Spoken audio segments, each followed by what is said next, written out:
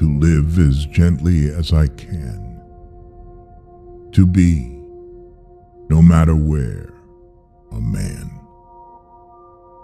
to take what comes of good or ill, and cling to faith and honor still,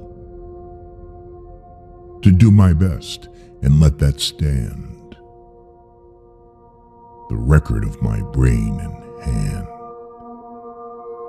then, should failure come to me, still work and hope for victory. To have no secret place wherein I stoop unseen to shame or sin. To be the same when I'm alone as when my every deed is known. To live undaunted unafraid of any step that I have made, to be without pretense or sham, exactly what men think I am,